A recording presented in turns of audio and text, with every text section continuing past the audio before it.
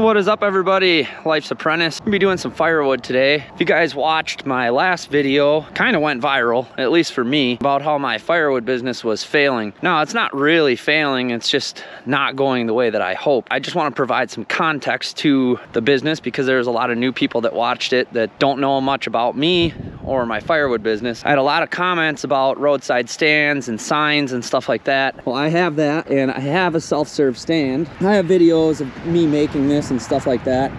I have all these two foot by about three three foot tall for 20 and then I have one here that's about three foot tall by five foot for 60 and then over here I have my pay box. I have some bundles and I have some covered $25 racks. So as far as selling firewood, I have been selling firewood. I had somebody just come and get $100 there, and it's actually a really good deal, at least for in my area. I had really mixed results as far as the advice that I was given. Some people told me it's way too expensive, I'm selling crappy wood. Other people said it's just fine, and my wood would sell eventually, which I, I believe that. And I have been selling wood pretty much all year. I just started on Craigslist Craigslist and Facebook. So all of the selling that I've been doing word of mouth and through my self-serve stand. Now I would say I have a lot of wood here and this isn't all of it and it goes further. I would say overall I probably sold 20 face cords out of maybe 70. I don't even know how many I have to be honest, 70, 80. And it's all pretty good quality wood. In our area we're blessed with a lot of good quality wood. Oak, hickory, locust, ash,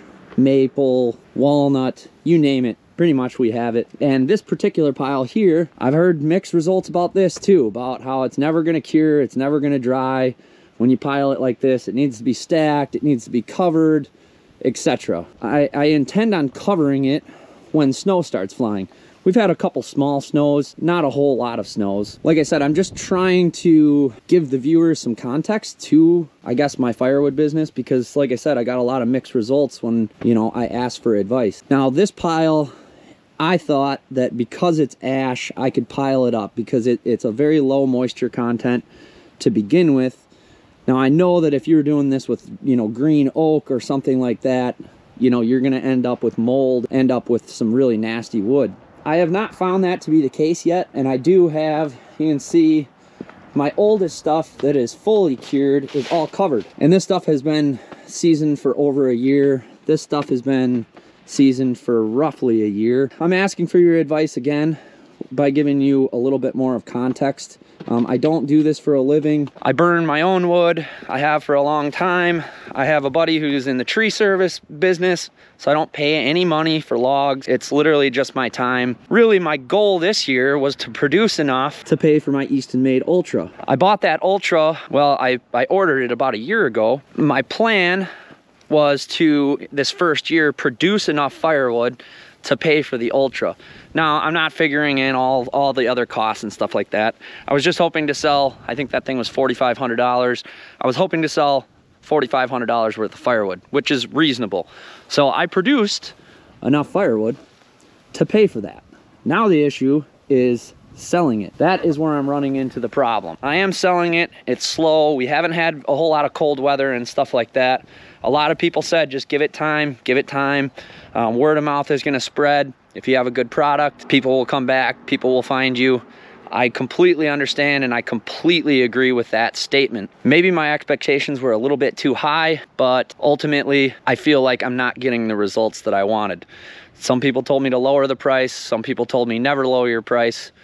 I'm holding strong with what I have right now. I'm doing $110 per face cord. My face cord is 16 inch pieces, four feet tall in an eight foot row. One row of wood. That is one third of a cord or a face cord the way that I know it. I know other people do it differently. Other people told me just selling fractions of a cord. Well, it is a face cord is one third of a cord in my opinion so that is a, a, a, fraction of a cord i'm willing to do full cords face cords or smaller quantities um, so i'm doing 110 for like the ash and mixed hardwood and then the hickory hard maple and oak that I have, I'm doing $120 per face cord, and that's free delivery within 10 miles. I'm gonna fill up the um, the stand up there. Like I said, I wanna make sure that that's full so that people, when they need it, it's there for them. And I want them to know that.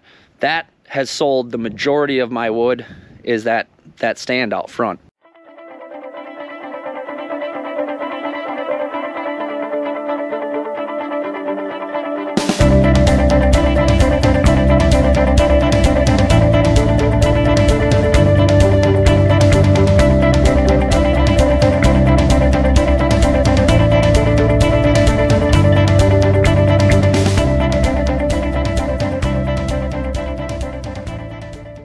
Three oversized buckets. One of them didn't make it all the way out there. This is the third one. I'm on top of the pile. You can see this is all stacked here on pallets. This is all stacked on pallets. This is all stacked on pallets. And most of this is on pallets. About from here to there is not on pallets. But what I'm noticing, people say you can't do this, people say you can, but I'm getting into the pile and there's absolutely nothing wrong with this wood. I haven't found a single moldy piece. This stuff's been sitting uncovered in the rain. It is ash, so I'm not too worried about moisture content as far as that goes, especially this stuff up high. Um, and then the stuff on the bottom, I probably will not sell um, to customers. What I'll do is once I get down to the bottom, is then I will stack the bottom, clean up all the, you know, all these chunks and stuff like this, these I've been throwing to the side and I'm burning them myself. The reason why all this happened and why it's not stacked is just because I had so much wood that I had to get done and you know with multiple other jobs because like I said this is a hobby that I just literally just couldn't keep up and uh, I ran out of pallets so I decided well hey let's just throw it in a big pile what's the worst can happen? Worst case scenario, I'll burn it myself. I'm getting in down towards the bottom down there and I haven't really looked, but right now I know that the driest stuff's gonna be on the top, so I'm gonna continuously just keep pulling off the top and then the sun can dry out the next level and so on and so forth. But this is all really nice wood. I guarantee you it's gonna burn. All right, let's go fill up that stand. All right, well, the first thing I'm gonna fill up is this right here. Here's my bundles. Beautiful hardwood bundles. This is all ash. Very nice, clean, beautiful wood. And I'm selling these bundles. They're oversized bundles for $5.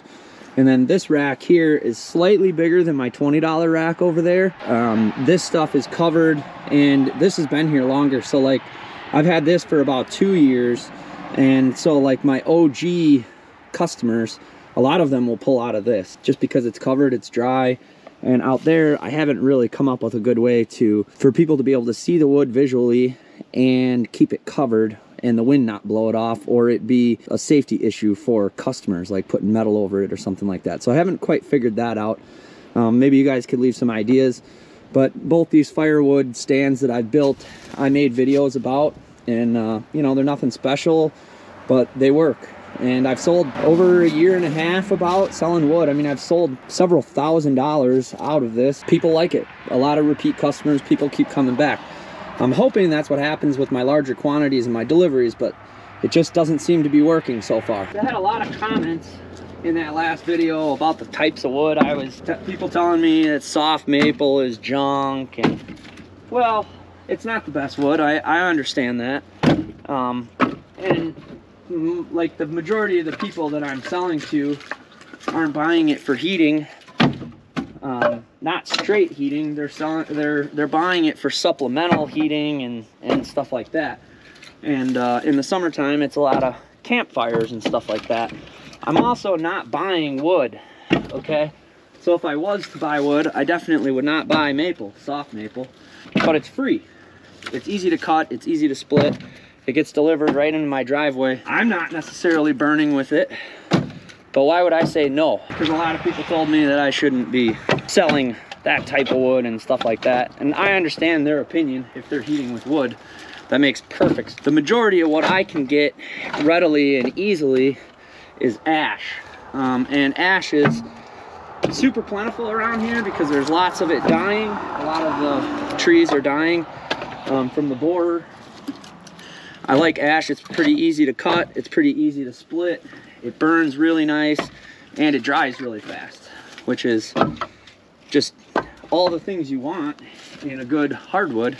So that's why I'm selling a lot of ash. Most people aren't heating with it for fireplaces and small wood stoves in their shop or whatever. There you go, that one's full. That's $25. That is two feet by 42 inches. So do the math. It's a little bit over a hundred dollars a cord um, per or a third of a cord for a face cord. For a small quantity like that, I believe that's completely fair. And I know that, you know, you're getting a way better value doing that than buying bundles. For example, there's six bundles there. So let's say this is equivalent to about nine bundles, which would cost $45 if you're buying $5 bundles. Now here's those first two loads I brought out and those are just gonna get stacked in here. Now, if I had to say, I know a lot of people do firewood stands, this is the ideal way to sell firewood. One, I don't have to deal with phone calls and getting back to people or scheduling. They can come and get it whenever they want, 24 seven, and load it themselves. Ooh, look at that. Big old nail in there. They can pick and choose kind of what pile they decide. Oh, they're all gonna be slightly different. If they know their wood, there's gonna be a little bit of a different variety in every one. Um, I also sell pine in the summer out of these because like, again, I can get it for free and some people like pine and I don't mind selling it if I get it for free. But I'm on a busy highway, so you can't necessarily do this everywhere. I mean, you could, but I have a lot of traffic. That helps. I'm also not putting necessarily all my best quality wood in here. Um, you can see there's some that are, you know, 12 inches, some that are 16. I, I don't cut anything over 18 or 16 on purpose because I know that a 16 inch piece can fit in just about any wood stove or fireplace. Another thing I'm not doing is I'm never putting my premium stuff in here, like I said. So you're never gonna find oak, you're never gonna find hickory, you're never gonna find that in here unless it slips through the crack. That stuff is all stacked. I take care of that a lot better just because it's more valuable, not only to a customer, but also to me. If I could pick one wood to burn, it would probably be oak. Now this particular customer that bought all this got around a face cord just a little bit less for a $100. You might say, well, I'm selling smaller quantities.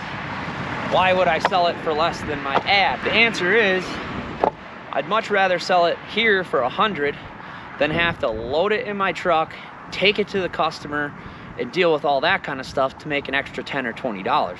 I'd much rather do this at my leisure, sell it right here at home, where people can come back and get wood whenever they want.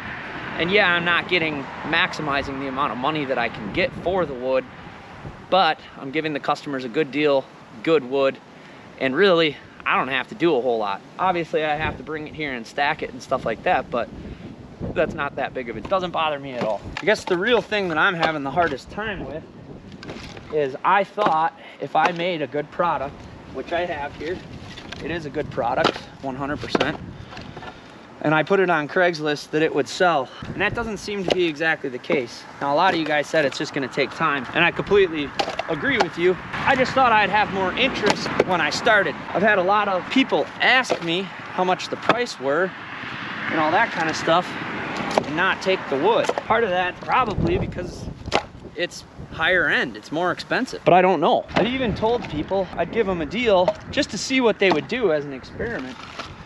And I told them like $280 for a full cord, three face cords. And they still didn't take it. And that included delivery and everything like that. So something's telling me that my issues are mostly price. That's where I'm struggling because I want to produce more wood and I want to sell more wood. But I don't know if the key to doing that is lowering my price or not.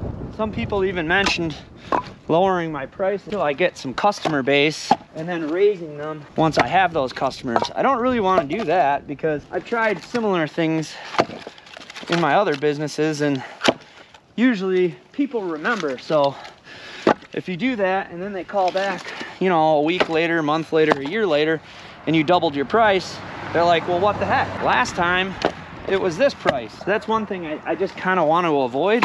I would like to. Oh, there it is. I actually had about the exact perfect amount. And so this is how my stand works.